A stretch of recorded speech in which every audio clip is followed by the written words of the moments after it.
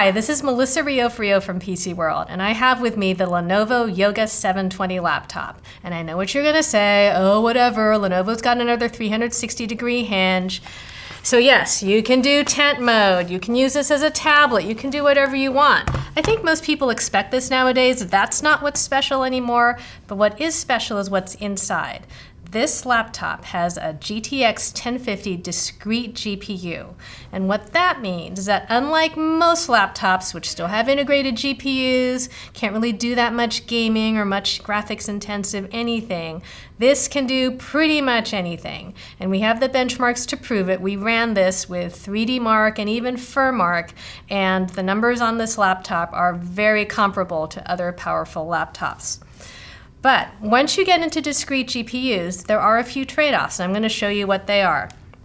First of all, look at this hinge. It has this huge ventilation grill running all the way across the inside. And there's more ventilation grills underneath here. Uh, that's because the GPU is just going to expend a lot of heat when it's working on its thing. And what that means is that even though you could technically have this on your lap, and it's not like it gets super crazy hot. It is going to get hot enough that I would be uncomfortable having it on my knees, and I think you would too. This is really a laptop that's going to stay on your desktop.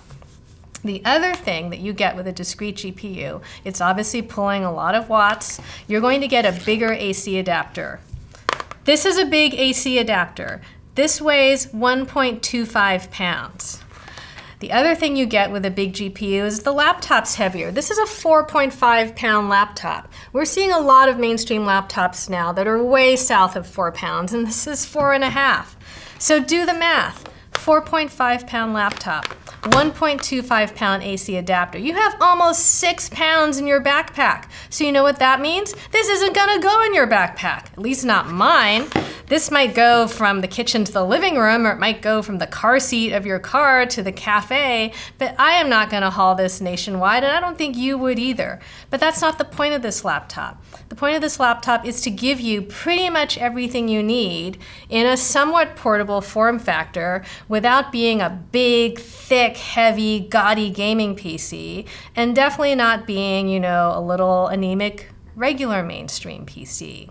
Now I have one more thing to mention here. You might have heard about a new laptop technology called NVIDIA Max-Q. NVIDIA is putting out these special uh, discrete GPUs for laptops with this software that helps them run cooler, not use quite as much battery, and that's actually a good idea. Uh, they can make thinner laptops that are still really powerful. But they're only doing that with higher end GPUs. So you can say, well, why isn't Max-Q in this you know, laptop?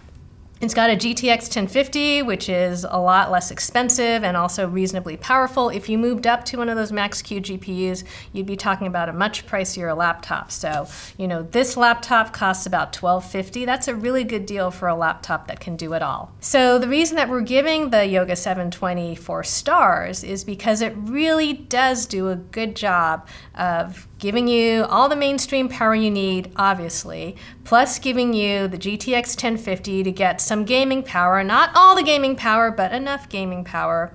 You get a really beautiful display, you get the 360 degree versatility. It's a really nice package that I think is competitive with the Dell XPS 15.